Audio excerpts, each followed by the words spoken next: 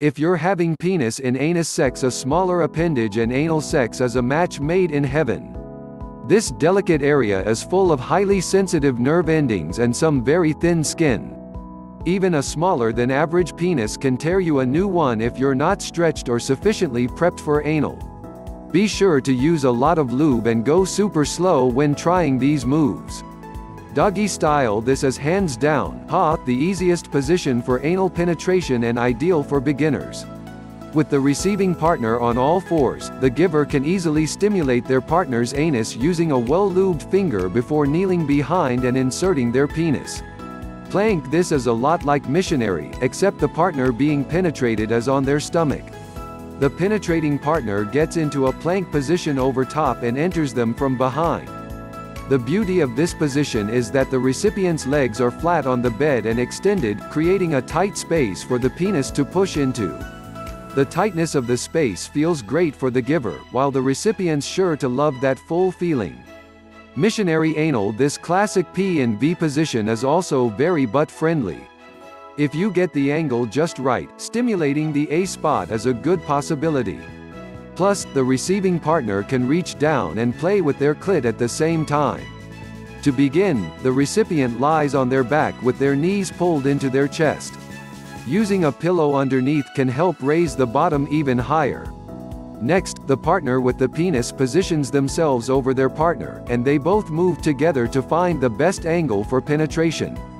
Seesaw for the advanced backdoor player, the seesaw position lets the receiver take the lead in thrusting, so they can take it as deep as they want. The partner doing the penetrating sits on the bed with legs extended and hands behind them for support. Next, the receiving partner sits on their lap facing them and places their hands behind them so their hands are resting on their partner's legs. Anal pile driver This is just like the P and V pile driver mentioned above, only it's the anus being penetrated. To recap, the receiving partner lies on the floor and brings their legs up and over, next to their head. The penetrating partner squats over top and enters, using a squatting motion to thrust in and out. If you're having oral or erogenous fun why limit oral sex and erogenous fun to foreplay? With its orgasmic potential and versatility, both are worthy of main event status. Tickles, tongues, and toys, oh my. Here are some moves for all skill levels that are worth a whirl, regardless of penis size. Lie back and enjoy the receiving partner simply lies back with a pillow under their butt and legs apart, and enjoys the feel and the view. This position works for sex toy play and manual stimulation like hand jobs and fingering, as well as cunnilingus, blow jobs, and rimming. Butterball The lucky recipient lies on their back with their knees pulled into their chest, fittingly resembling a turkey ready for a good basting. Their partner then lays belly down ahead of the spread so they can tongue the clit, cock and balls, or anus with ease. Doggy good old doggy style does it again.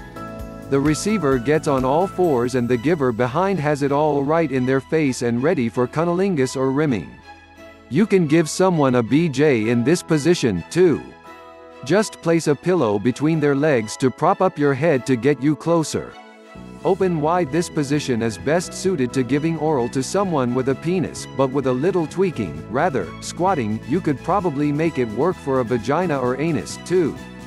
The giver lies on their bed with their neck at the edge and head hanging back. Their partner stands over them, placing their junk over their partner's open mouth. Teabag, anyone? In your face we're getting into face-sitting territory now. Some people find it a tad claustrophobic, while others love the kinky element. The giver lies on their back, and the receiver straddles their face. The receiver can face forward for P or V oral, or turn a cheek to the giver for an anal tongue lashing. 69 You either love it or hate it, but the 69 shares the pleasure equally between partners. One person lies on their back and the other climbs on, facing their partner's feet so you're both up close and personal with the other's genitals. If anal play is your pleasure, you'll want to be on top to get the angle right for your partner. Got mad oral skills and muscle strength. Try a standing 69. Things to keep in mind if you're less endowed sure, the world's got its share of size queens, but ask most people about their best sex ever and size rarely gets a mention.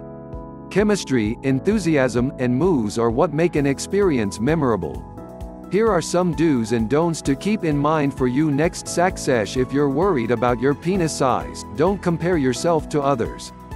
Based on research, 85% of individuals who have a penis overestimate the average size, assuming that everyone else is packing a much bigger piece.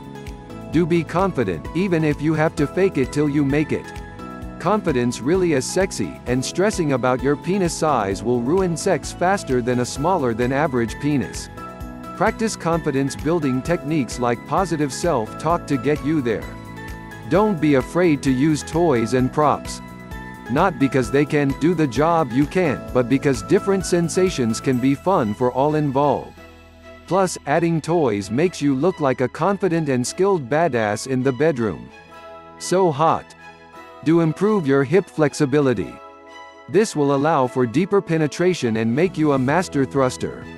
Use simple hip stretches to limber you up. Things to keep in mind if your partner is less endowed penises come in all shapes and sizes, some smaller than others. Here are some do's and don'ts to keep in mind if your partner is less endowed, don't lie. Unless you're engaging in roleplay they've consented to, lying and acting like they have a big penis can do more harm than good to your relationship and their confidence. Do be patient.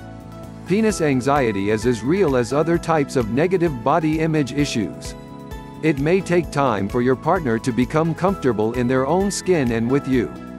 Don't fake it. Faking an O isn't the solution if it's just not working for you. You both deserve to have satisfying sex. Experiment with other techniques and communicate openly about what works for you and what doesn't. Don't ask if it's in. For obvious reasons, asking if it's in is a no-no. If you're really not sure, reach down for a feel to be sure. The bottom line a big penis isn't necessary for earth-shattering sex, but confidence, communication, and a willingness to try new things are. The key to any great experience is making the most of what you have. Certain positions, focusing on more than just penetration, and using toys can make all the difference.